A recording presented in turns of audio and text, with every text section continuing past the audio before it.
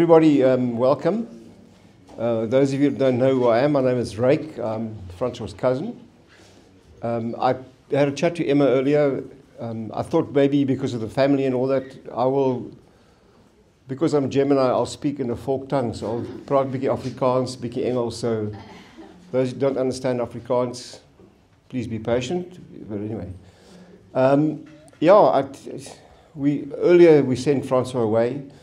Um, so we all said a few things. So I've said quite a few of the things that I wanted to say anyway. But um, I think just on behalf of the family, the Melks, the Eusters, the Roos, the, the sort of cousins, um, I thought I would just share one or two things with you with Francois. Um, as I mentioned earlier, I remember him as a very cheeky young boy, uh, much younger than we were. My brother and I used to go to the Karoo and go and play with him at Noblesfontein and he would be there eagerly waiting for us, the guys from the city, from the big town, to come and play with him. And um, sometimes we were quite naughty. We would make him not play with us. We, we confine him to his stoop. He wouldn't. He wasn't allowed with the stoop. And then he would go and talk to his mother, and then he would go and talk to Willie, who was his little playmate. And then Willie and myself and Auntie would go into the mountains to go and look for porcupines, etc., and dassies and all that. Um, but he was always um, tenacious he never backed down, and whenever we joked with him, he was always there for more, whether it was punishment or congratulations. Um, and then, you know, we all grew up, and then years later, one day he arrived at my front door at Kim and I. We had just moved to Stellenbosch, and he arrived there with a, a really stuffed up old Land Rover. And, um, and he came and told us his new ideas of water, and he'd just found this beautiful girl from New Zealand, slash Scottish and um, and he was so excited. And I sort of looked at this and thought, Yeah, you know what? I've got a career. I studied medicine. I know where I'm going. And this guy was out in the wind, no pun intended. and he just came back one day with this idea, and um, I sort of thought, where are you coming from? You know, and anyway, he pulled it off against all odds. I mean, he was definitely, in my mind, a visionary, a maverick, um, and a very in his own way, a spiritual guy. You know, he always used to talk about, you guys probably all heard it so many times, but he always spoke about the hubris, about the self-confidence and how, how you can be confident, but you mustn't be overconfident. Don't wear that confidence too much on your sleeve. Always be kind to your people. And the investment that he's done in Victoria West, the community and the people, it's a living example to see what is here today and what he's achieved. And the fact that we're sending him off today, there are two things. The one is you fought COVID, you breezed through it last year. Yeah, I had my daughter here in confinement with him because she was part of the team. Thanks, Jack. And, um, and he cruised through that, you know. Then today we celebrate his birthday as well, you know, on such a bizarre day. And um, I remember one night we had a long chat, and you know, we, we came both to the conclusion we were all born naked, and that's how we go home. You know, so whatever spiritual mind you want to be in, but he's having seen him here through all the pressure, and he picked by far the most aggressive cancer that anybody could choose to pick. I mean, nobody can survive that, and he did his best. He was positive, and until the last day that I spoke to him, he was he was looking forward. So, and the pressure and the strain that he had at the end here, I think we all know that he's in a far better place right now, and, and he's happy. And I think his family, we all will look after them. And in spirit, and Emma, Quasi, Rupi Ru, Jack, um, thank you for giving him to us for the time that we had him. And his memory will stay with us forever. And we will drink a toast to his life, no doubt. Um, what we wanted to do was, I think that uh, JP and Chat wanted to say a few words. Theo, sorry, Theo, his brother's JP, who used to work with me in a liquor store across the road. so Theo, they all the Polbot connection. So, so Theo and Chat want to say a few words. And then it's a toss-up whether Gus wants to say something then or the family would like to say. So I will leave it over. Theo, please, thank you. Goeiemôre. Ehm um, Ek ken vir vir Pietie, soos ons Pietie leer ken het van hierdie dae waar sy sy foto's, ons is sy sy Paalspring vriende van 40 jaar gelede ehm um, wat hom geken het anderste as wat jy hom geken het. Ons is almal jonk en ons het almal 'n 'n jong lewe agter ons gehad. Ek het Pietie ontmoet in 1980 op 'n SA kampioenskap in Germiston. ons was seker maar almal klein, maar ek onthou Pietie is 'n klein seentjie met die met die draadjies op sy tande. Ehm um, daarvandaan is ons weg, deelgeneem weg en ek is Stellenbosch Universiteit toe en ek word saam met hom ingedeel by 'n um, universiteitskoshuis saam op dieselfde vloer. Saam Paul gespring. Ek onthou nog goed in my eerste jaar, in die eerste jaars ek was eerste jaar en hy tweede jaar omdat ek eers militêre toe is en hulle het ons in 'n boksgeveg gesit en ek trek vir Pietie vir 'n um, boksgeveg en ek dink in die tweede hou toe slaan ek hom uit. Uh hou uh, op die maag. En ehm um, ja, van daar af het ons saam atletiek gedoen. En ek kom van die Vrystaat af en ek het nie geweet wat 'n paddle ski in my lewe is nie. Ek meen ons het nie water in die Vrystaat nie. En ek onthou baie goed die eerste week het het, het Pietie my kom haal in die kamer. Hy sê kom. ons is in sy Opel Kadett aan Stellenbosch Hoofstraat af. Stop by die eerste sportwinkel en hy koop vir my 'n paddle ski of ek moet betaal. Ons koop die paddle ski, paddle ski op die dak. En so het ons baie naweke, onthou ek baie goed. Pat Benatar Ultravox. Cadbury sjokolade, hulnat in 'n baaibroek borde op die dak en nou gaan ons Koelbaai toe. Het ek Pietie leer ken. Daar het ons atletiek gedoen um, vir baie jare.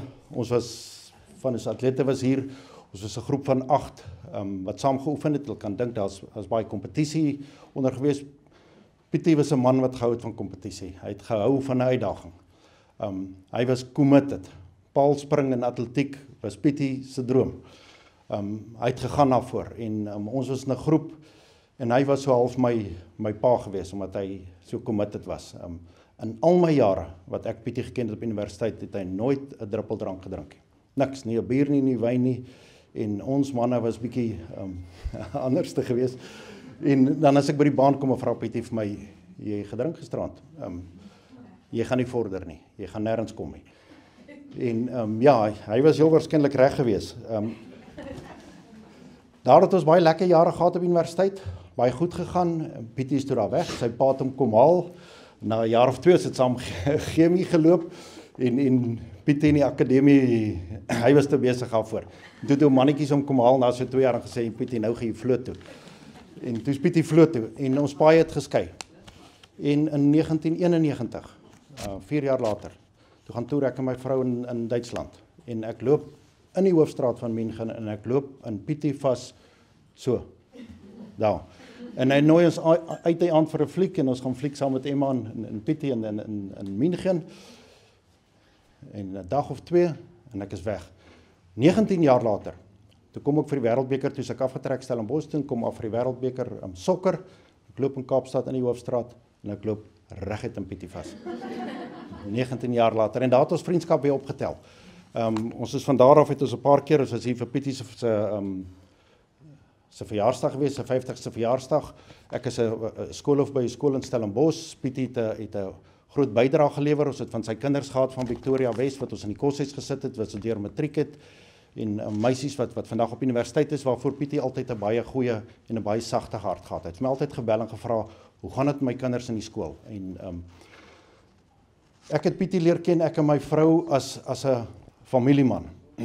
Iemand wat omgegee die liefde het hom uitgestraal. Sy belangstelling in sy kinders was ongelooflik. As ek met Pietie gepraat het, het hy my altyd vertel van sy kinders and always about his lovely wife. Ehm um, hy was baie trots op hom gewees en ehm um, ja, so dit was vir ons 'n groot voorreg. Ehm um, Pietie het ek leer ken as 'n Afrikaanse seun uit die Karoo uit en dit soos ek hom sal onthou. Van ons kant af baie sterkte in die familie en mannetjies en sy vrou.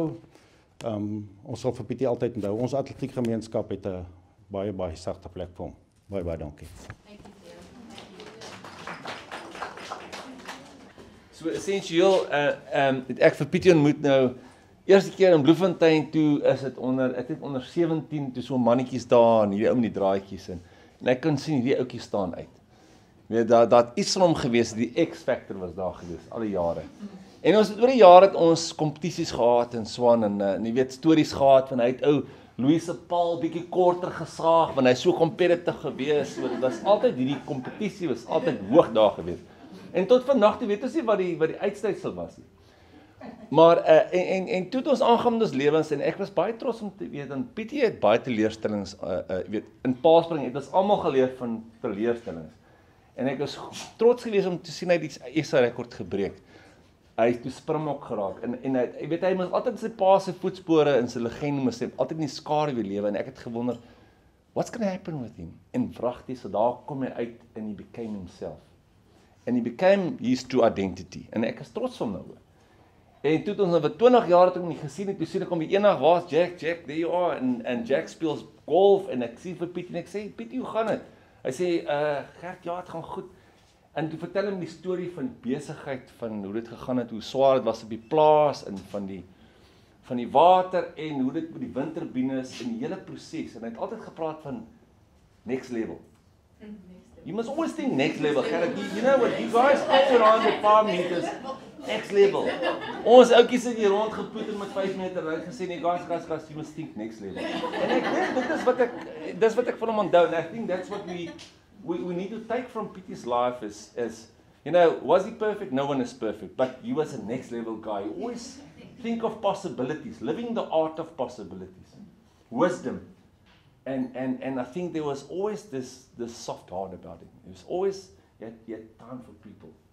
Um So yeah, to to Pietie and and let you know like and I really love what you've put on that uh, the little poem. It was fantastic and I, I really see I really see a lot of Pietie and there's one thing I see there. Ons gaan vlieg. and I think he's flying.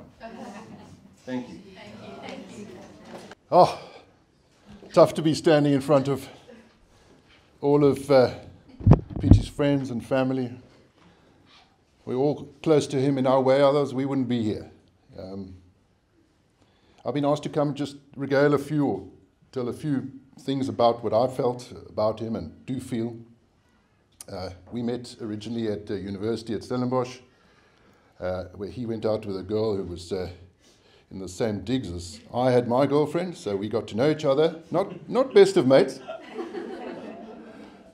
Um, and then throughout life, I, I, perhaps caught up with him again after the army and after studies, and uh, he was the big uh, rugby guy from the Clifton Knoppe down at uh, Clifton Beach. And uh, he'd be playing there with a lot of the Springboks. You've just heard he is a Springbok in his own right. Uh, but he would be playing there with all these younger guys, and, and very often they were, they were 20 years younger than him. And he was still good enough to be in this team. Yeah? This was your dad. It was an amazing story. Yeah, 20 years younger, and he was in the same team, and the competition was huge, uh, and nothing like playing on the beach. Yeah. Um, as Rosie said, and as he said himself, only only at Easter, he's a bit of a he was and is a bit of a, a one percenter. He called himself. So he was always fighting upstream, as Gert perhaps alluded to a bit. He was always he wanted the next level, but he was, was always upstream about life. It was, um, I'm going to go and do this. Everybody thinks that, but I'm doing this. And boy, did he do so many different things. Um,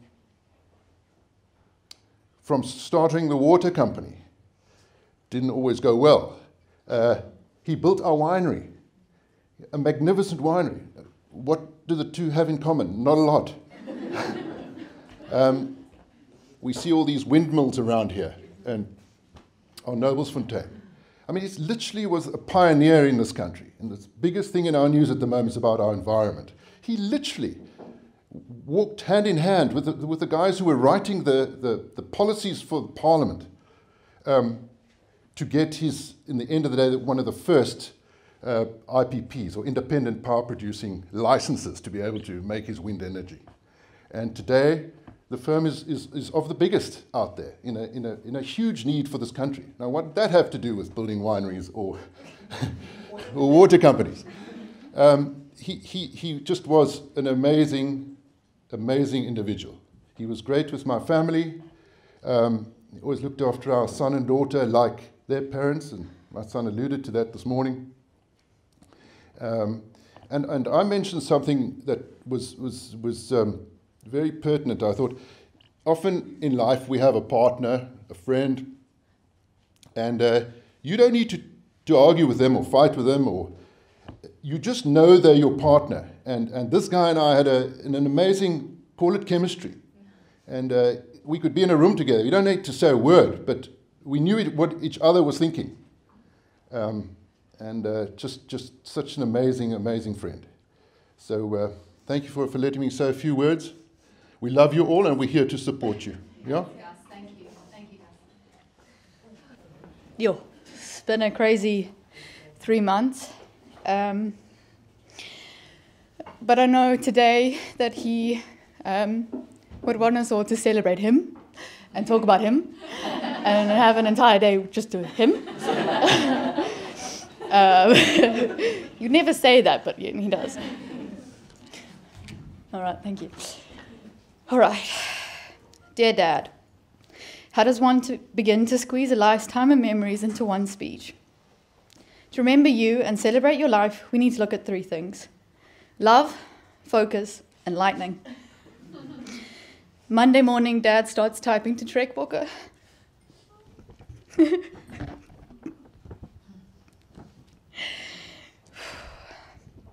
Morning, all. We miss you.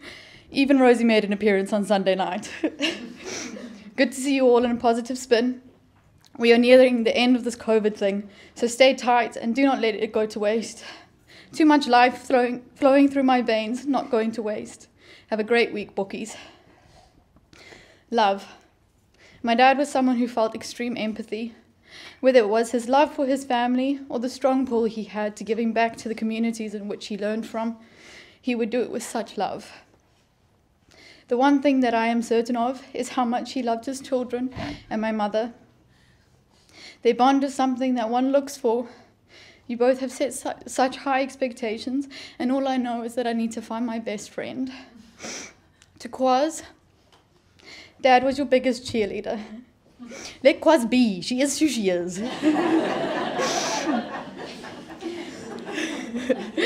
He loved your enthusiasm and your strength and your thought processes. He is so proud of everything that you have achieved. He loved your soul and your being. Your connection will last forever. To Jack, oh, but he loved having a son. you were his little Charney. He would stay up until four in the morning, pacing up and down the halls just to see how your hall went.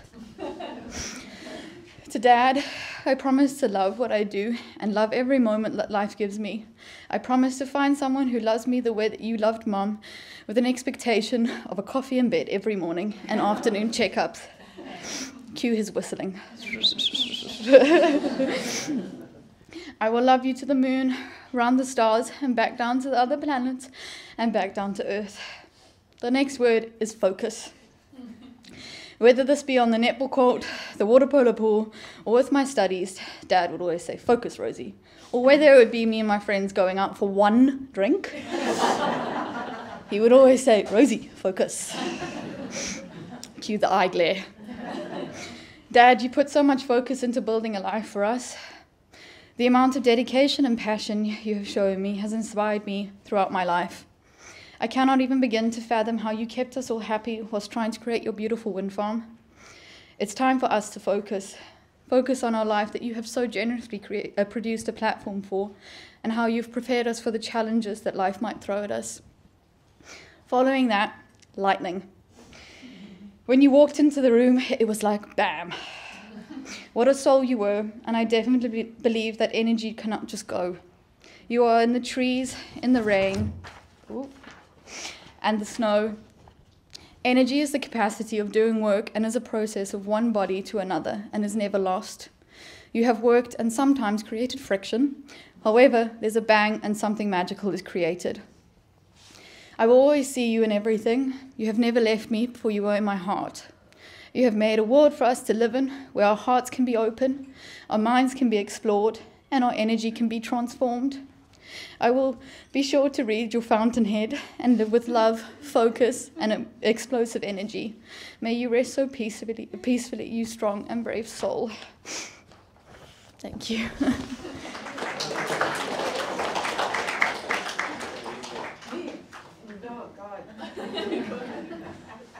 Oh, you see. Okay. I'm going to read from my notes, so I'm not looking at my phone, Mom. Not look, I'm, look, I'm reading. oh gosh, I don't know if I'm going to be able to read this.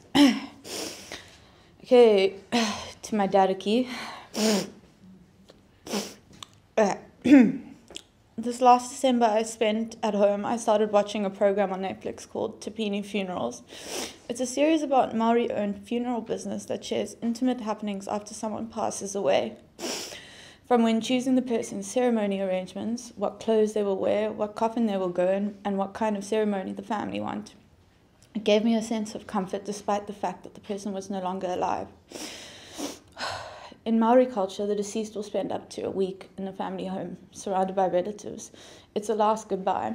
And yesterday we were so lucky to have our dad spend um, his last night at home with us, and um, it was really peaceful and lovely. And at first, I was scared about it. I, I didn't know how to feel about it, but it was one of the best things that we actually could have done as a family together. it's comforting to know that your energy has now been transferred to something else. In the mornings, you would drive us to school. The bus is leaving, he would say. I would roll out of bed as the bus was about to leave and would hop into a car that was always 18 degrees Celsius. Even in the winter, you've got to climatize. you were so structured and routined, but we listened to 5FM when most, when most other parents were listening to KFM. And I thought that was so cool. you, will for, you will always be the morning time to me. You would always get up early and be so positive and get the day going a real asset to my life and how many mornings and how my mornings go now. I do not wake up grumpily because of you and mum and the way a new day and, and the way you taught us that a new day would start and bring positivity and new opportunities. Um, I wrote this to my dad on the 27th of May this year when he had first been admitted to ICU. I keep reminiscing about the time you took me to my first rugby match at Newlands Stadium. I remember my spur backpack and then I had spilled orange juice in it and it gave off a pungent smell. Newlands is now taking on a new form, which will see people create new memories. All around Cape Town, I have fond memories of life on earth, on this earth, as with you as my father. Even the trivial arguments of growing up, because you have taught me so much and I've learned how to be human. I can't wait to hug you. You are a fundamental part of our family. You never missed a sporting event. You were always there cheering us on, and you were so interested, even when we didn't know why we should be. you cared so deeply about our well being, health, and happiness. You always made things happen because you loved us. I never felt unloved, uncared for, or undervalued. You placed value and importance on each of us. Uh, when I was about 15, he used to build this ship, and he, we were in a bit of a financial rut. and he would sit there every night, and he would build the ship, and it's in his, his office now. But that build, that ship sing, signifies the focus and the continuing. He would just get up and he'd build it. He wouldn't complain. He just build it, and we'd walk past him, and he'd be building it, and he was so like focused on the ship. I'm so especially grateful for the times I spent with you in my 20s. Every time myself and a few mates would come back from university, you would greet us at the door and say, But you must focus. Very confused, we'd say, Okay. a lot of learning curves and my sense of rationale. You put a lot of time into me when I could have easily got lost. When I moved to London, you were constantly on the phone to me every morning. Job yet? You got a job yet? job yet? and every time it was a no, you said, It's okay, we begin again tomorrow until, until I actually did get my first permanent job. And I remember you call, calling you, and we were both crying. I know you were proud of me, and I could feel that. I never felt like you weren't. All through my life, you made me feel so special because your soul was so special and radiated authenticity and so much love. I love you, Dad.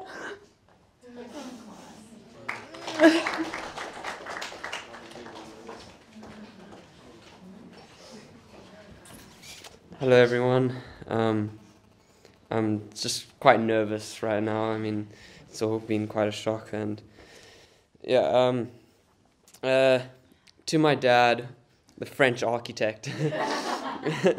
uh, one of the first memories I could remember was waking up for school uh, to a very energetic dad, ready to start the day, screaming, The bus is leaving.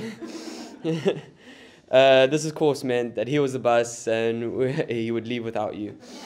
And I, and I remember when we were on the way to school and we would take the Constantia Neck Road. Um, and on that road, you can see Klein Constantia and um, the wine cellar. And every single time we would pass that cellar, he would say, "Who would built who who built that?" And then every time we passed that wine cellar, he would say that every single time. Um,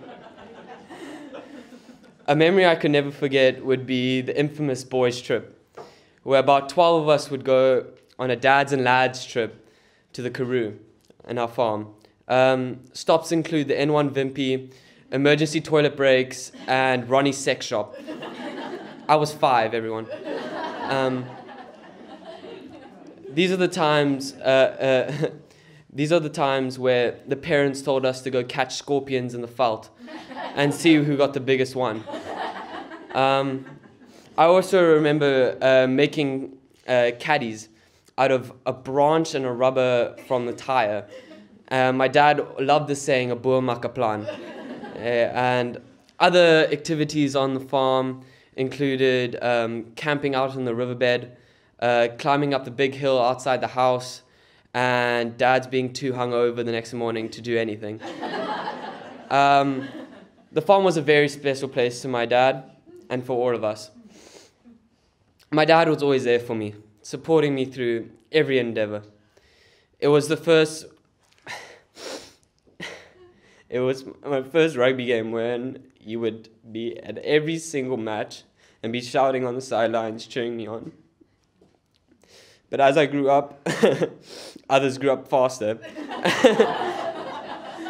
and rugby was not the sport for me then.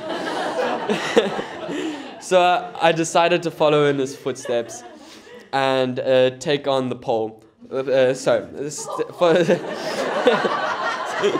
that sounded wrong. Uh, so I decided to, uh, to follow the footsteps of my father by taking on pole vaulting. But unfortunately, this venture was short lived and then uh, quickly taken over by golf, where my dad again supported me 100%. He always believed in me, even when I didn't believe in myself. He was very, he was really my number one fan. He would follow my golf games hole by hole, even when I was on the completely different time zone. And he would, sorry, he would call me straight after every golf game without me knowing he was following each hole online from the other side of the world. He would call me and make me uh, always go through every hole shot by shot. And then he would tell me about his round earlier that day.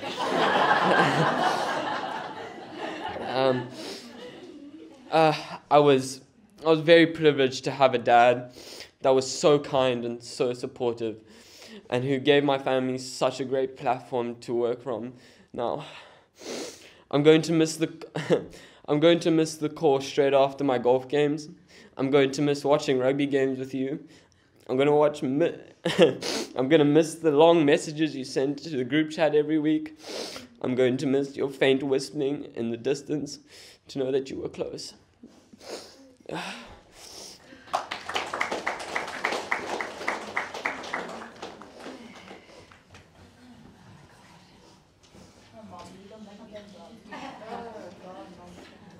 Uh,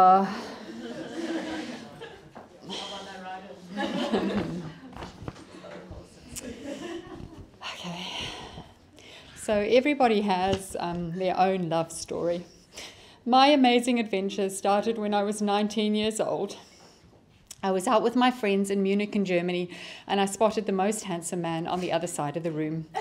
After asking everyone in my group if they knew him and assessing that he was, in fact, not a serial killer, I thought I would cruise on by for a closer look. As I walked past, looking the opposite direction, of course, no eye contact, um, I felt him take my hand um, as I was walking. It was warm and it was soft, and it didn't let go.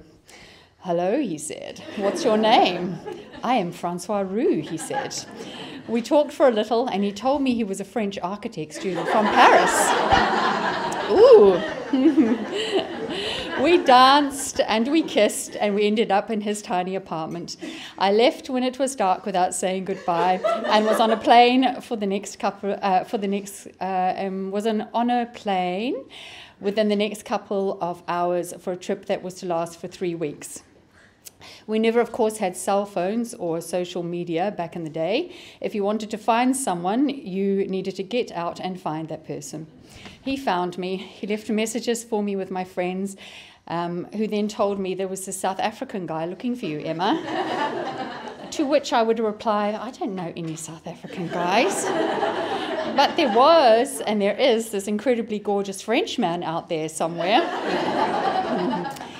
And as the universe had already decided, the following week my friend Rachel was in town, and after supper we needed to get something from her apartment. And as we entered the lobby, I said, Oh, I know this place, I've been here before. and as we got out of the elevator on her floor, we walked past Francois' door. I said to Rachel, This is his door. And of course, being 19, she immediately knocked on the door and ran off, leaving me standing there. As Francois opened the door, as Francois opened it, fresh out of the shower, dripping with water, with a towel around his waist, mm, he took my hand and has not let go of it since then. That was February 1991. Sorry. Uh, um, we traveled the world and we lived in different cities together. And he just took in everything. He enjoyed and engaged in everything and all the cultures and new experiences that he could. Our little Quasi was born in New Zealand, and after a couple of years more working and travelling, Francois decided that he needed to come back to South Africa, to the home that he loved so much, that gave him security and peace, Noblesfontein. Immediately, his brain started to work on ways in which he could diversify and make a difference. The spring water at Noblesfontein, which came from an aquifer deep in the ground, was of supreme quality. And, and as a child, he had filled water to take to school to give to his teachers. Francois thought that he would bottle this mineral water at Noblesfontein and send it all around South Africa to sell. This he named Karoo Mineral Water. Um, after designing a glass bottle with a somewhat Eastern Bloc looking label, um, which he thought looked rather cool, uh, was swiftly replaced with a much more chic PET bottle and a new foil label. Um, Back in, back in 1997, there was a small handful of people bottling water. We loaded trucks, and he would drive all night and offload the next day and then drive the 600 kilometers back to Noblesfontein. Francois worked so hard and, cre- and created an incredible brand. Together with a couple of others, he initiated an NGO to um, uplift the farm workers of the area through sport. Um, they frequently organised soccer matches and sports days. Rosie was then born in New Zealand, and on returning to South Africa, Quasi attended a small play school in Victoria West town for a couple of days a week. Quasi came, uh, Francois came home from town one day after picking her up um, and said, We're packing the delivery truck and we're moving to Cape Town. Quasi needs to go to big school now. Francois was fearless. We found a small house in Higgovale and Quasi started school, and this was the next chapter. Um, and the next chapter of our life in Cape Town began. On Christmas Eve 2001, Francois handed me the most beautiful baby boy ever born, Jack. and almost immediately after Jack was born, we moved to the leafy suburbs of Constantia, where Francois reasoned, We are moving here because it's the closest you'll get to New Zealand with all of these trees. Karoo mineral water passed into different hands, and Francois needed a job. He embarked on some building projects here and there and was given a chance to tender to build Constantia Glen's new wine cellar. He jumped at the chance and was awarded the tender and built, along with Simon and Tembi and his guys, the most beautiful wine cellar in Constantia, Constantia Glen. New Year's morning 2007, Francois woke up and said, Ems, Renewable energy is the way forward. we have to save this planet. Um, and wouldn't it be great if we could put some of those enormous wind turbines up and generate electricity at Noblesfontein? So, probably within the month, he had found out about a course in Denmark and a conference in Dubai and a sustainable energy to run on renewable, uh, sorry, a sustainable city to run on renewable energy in the planning in Abu Dhabi. And, and, and, and. He spent six months or so researching and formulating plans on how to do this. In 2008, Francois formed South African Renewable Green Energy, SARGE. He started identifying possible areas to monitor wind and put up many wind masts to try and find the best yields in the country. In 2011, he entered into a group venture with Gestamp Wind Spain and the Shanduka Group. Together, they submitted a bid to the first round for the independent power producers of South Africa to supply electricity to the main grid with a renewable energy wind farm. They won their bid, and his dream to put up 41 turbines producing 73.8 megawatts of power on Noblesfontein was realised. Three years ago, Francois bought out Gestamp Wind Shares, which makes his company the only fully South African owned wind farm in the country. Again, fearless. Sarge and Noblesfontein contribute contribute, sorry, Sarge and Noblesfontein contributes considerably back to the local Victoria West community, be it through teacher training programs, fitting solar panels on roofs of schools in Victoria West, or his dearest project, the seven scholars and graduate students that they fund from Victoria West District with the direction of the MAD Foundation. Francois would ask me, Ems, why do you like me so much? I would always say, I love everything about you, but I especially love your energy. I have never met anyone with such an incredible will to succeed at whatever he might set his mind to. Francois was an, was an engaging, interested, and fabulously fun dad. He took the children to school every morning so that he could chat to them and would shout from the doorway, again I'm saying this, God, at 6.45 a.m., the bus is leaving, at to which the scramble for the school bags, sports kits and lunches would ensue. He attended every sports day hockey, netball, water polo, cricket, rugby matches, dance shows, rowing regattas, music workshops. There was an endless list of things to attend. He was overwhelmingly supportive in what we all wanted to do. I can hear him saying, Yes, Quires, do it. Or, Great, Rosie, just tell me what you need. Or, You've got it, Jack. Again, just focus. Mm-hmm. We had amazing family holidays, road trips, long family Sunday lunches, and many sundowners on the beach. Francois, I thank you for our incredible children, for teaching them to be kind by example, for giving them the best platform on which to move forward with their lives. I thank you for all the adventures that we've had together, for believing in me, for loving me, and for always holding my hand. The Gaelic word amankara means a person from which you can share your deepest thoughts, feelings, and dreams with, your soul friends. Francois was my anam cara. Until we meet again, my darling. Mm. We're absolutely shattered by the sad news. We wish we could just take an airplane and fly down to you guys and give you a warm hug but obviously that's not possible. So Rosie asked us to do a little video in memory of Francois, and you asked us to wear bright colors, so it's very early here in the morning, so we just tried to pick something colorful from the cupboard.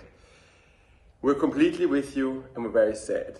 And I think all three of us together share one thing, and that's we totally admire Francois. He was a great person. He was a very inspiring person, and actually every moment he walked through the hotel lobby and I looked into his eyes after a brilliant powder run. He just made me want to run out as well. He just reflected that joy of being out there in nature, but also of being with other people and among other people. And that was just fantastic. We all had the joy of spending one ski day with you all last January, which I suppose will be for us all the last whole day we spent with him, and I think we will cherish those memories forever. The sad thing is that we were planning our trip to South Africa, which we never made, unfortunately, because this virus came upon us and we just didn't make it. Also, I spoke to Francois, I think, until June last year, and we didn't let go of the idea. But in June 2020, it was clear it was not possible. So we hope to come soon and spend that time with you. And I think now maybe Pauline, would you like to? Hi, uh, Quasi Rosie Jack. Hi, our hearts are completely with you during this time. We're so sad. We're so sad for you. We're so sad for the world to lose Francois, um, who's just such a wonderful person, just one of the kindest, most loveliest people that you could ever meet. And when you met him, you felt like you knew him your whole life. He's going to be so missed, so missed by everybody. And he'll always be with us. All right, okay, all okay. the best. Sending you all our love here, guys. All our yeah, big hugs. Bye bye. Hello. For those who don't know me, my name is Shala, and I am France's daughter. Um, before I start, Emma, Quasi, Rosie, Jack, Oma, Opa, and mother. Um, and to anyone who had the absolute pleasure and honor of knowing my uncle, I really wish that I could be there with you today. Um, but know that even from halfway across the world, I share in your grief and wish that I could be there to hold your hands and just to have this moment with you. I hope that you'll find peace and happiness and that you'll rely on those who share our grief. All right, let's start. It's no secret that when I was a child, I absolutely idolized my uncle. On the farm, I'd follow him around like a little puppy. And growing up, I never really thought about, you know, why that was. What was it about my uncle, my uncle that just attracted people to him, that just brought them to him? And over the last few days, I've I've really been thinking about this. Um, and I think it's because my uncle was just this absolute source of life. And, you know, even as a child, I could sense that about him. I think that everyone can agree that you knew when Pieter was in the room. Uh, you probably heard him before you saw him. Uh, but more than that, you could feel him in the room around you. You could see it in the laughter of the people who surrounded him. Just that that sense of life that he provided to people. Um, and that's something I will never forget. A true inspiration to me. Something I'd like to continue to strive for in the memory of him. To just be a source of life, to bring people together, to just create communities and families and friendships. Um, I've often heard people say a celebration of life when referring to events like this. And with Pieter, I finally understand why. Uh, that's because he truly lived. And when you're around him, you couldn't help but feel alive. And so, through the precious memories that live within us, we can continue to feel that life, that presence and then just think of the man who so beautifully embodied all of it.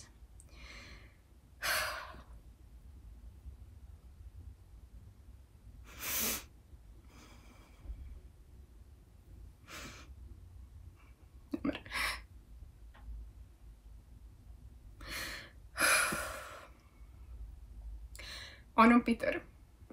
Ek wens ek kon daar gewees het om jou totsiens te sê. om jou hand vas te hou en jou familie se hand vas te hou wat vir jou so belangrik was.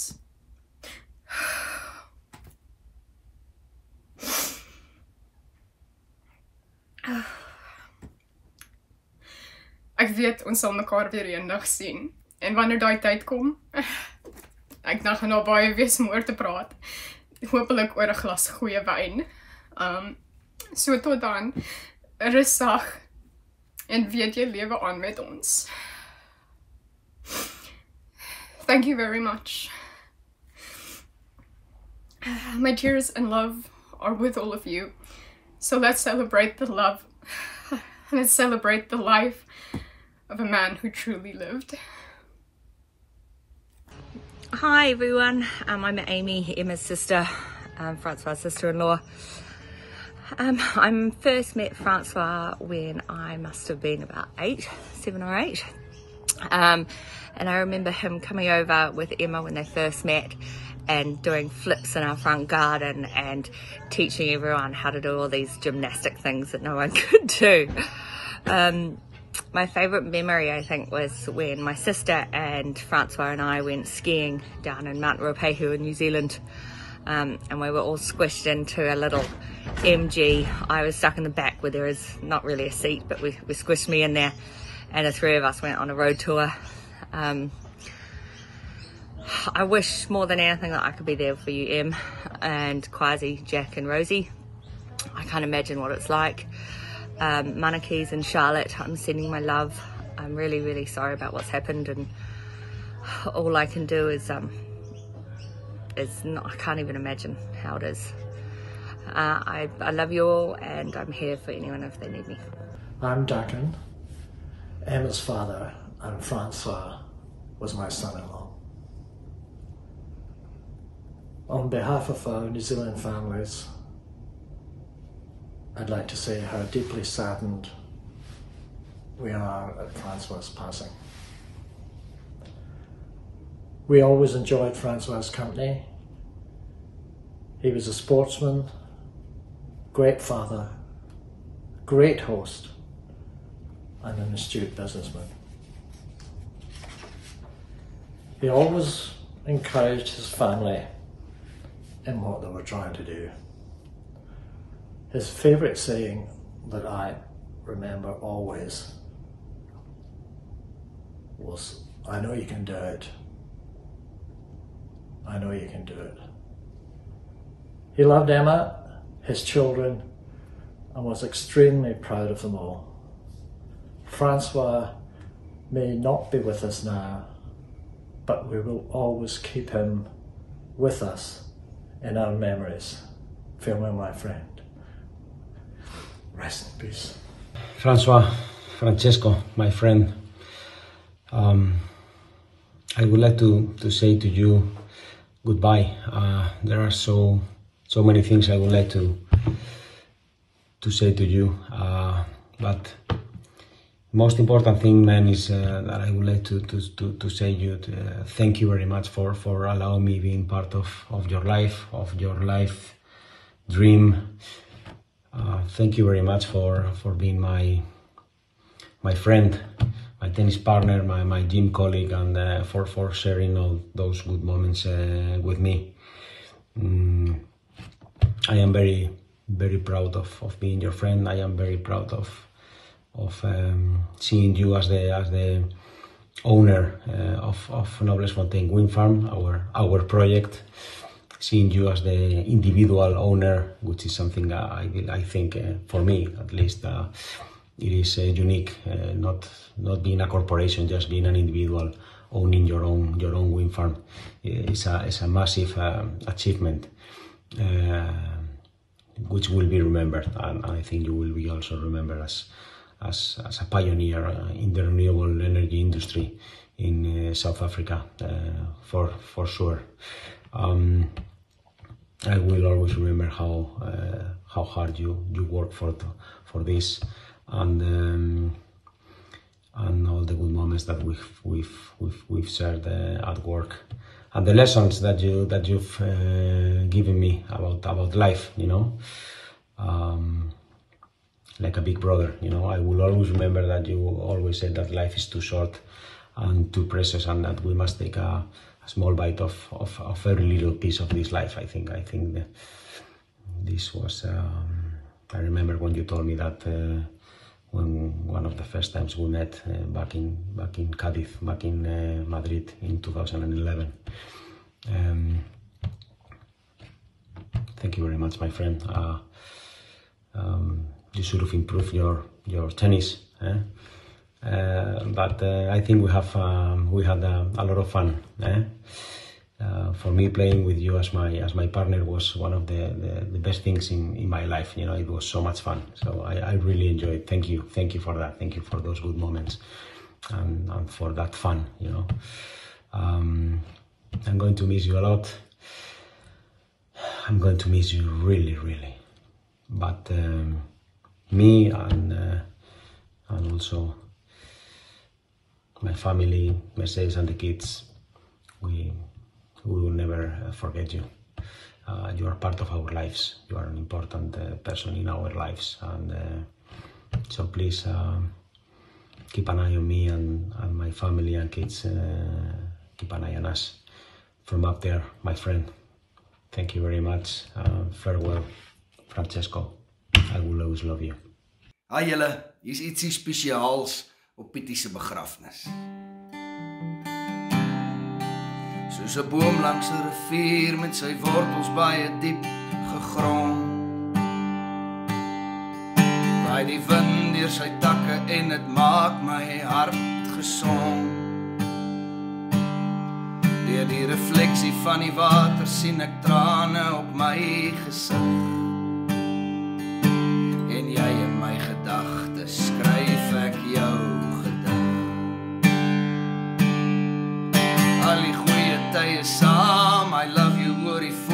Was reël. Jy praat 'n ander taal, jy sê 'n laaste maal, jy weet. Toe verskiet 'n ster. Vir as ek dalk vergeet.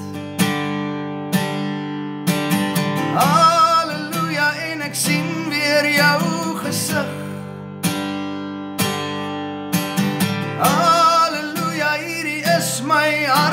Hartsgedig. En ek sien jou weer asof jy hier langs my staan. Ons praat weer oor ons waardes voordat jy moet gaan. En ek sien nou waar jy sit en die engele wat om jou dans. En almal hier op aarde wat jou ken, mis nog een kans. Om met jou te gesels en vir jou dalk iets te vra. Hoe gaan dit met jou?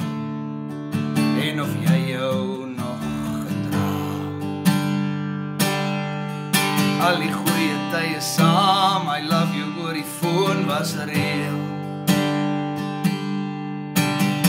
Praat 'n ander taal, jy sê 'n laaste maal, jy weet. Toe verskiet 'n ster. Vir as ek dalk vergeet. Halleluja en ek sien weer jou gesig. Halleluja, hierdie is my hartsgedig. En ek sien jou weer asof jy hier langs my staan. Ons praat weer oor ons waardes voordat jy moet gaan. Sorry, I have a lot of thank yous to say. Um, today, um, gosh, um, after a horrible week, um, there, this all was possible thanks to Kim, Kim Malk. Thank you so much for being there with us, and thank you so much for supporting us. Thank you so much for organizing the food, even though your stomach might have, you know. um, Anka, thank you so much for the beautiful flowers. It's absolutely exquisite, and Francois loved it so much. Tanya Golding, I don't know where you are, can't see. Yeah. Tanya, thank you so much for organizing the booze because we're gonna, we're gonna need it. Self-soothing, self-soothing. Um, Ollie, thank you so much for the catering, and Danny, thank you so much for the catering. And on a part of our, um, from our family, we just oh, The candles. Jennifer Clayton, thank you so much for the frames and the beautiful candles and everything. You guys have made a hard time um, a breeze. um, but I'd also like to thank everyone for the support over the past three months. Um, we love you all so much and we appreciate everything. Um, but let's celebrate his life. Happy birthday, 48. What a. I just wanted to end off with 58. He's 58. This is a bit. Friday the 13th, the Britney Spears conservatorship ended. Just saying. Quite a good luck number. Um, I just wanted to end with saying uh, what from one of his favorite bands that he used to listen driving up to Paul with his mum from ABBA. Chiquitita, you and I know. How the heartaches come and they go and the scars they're leaving.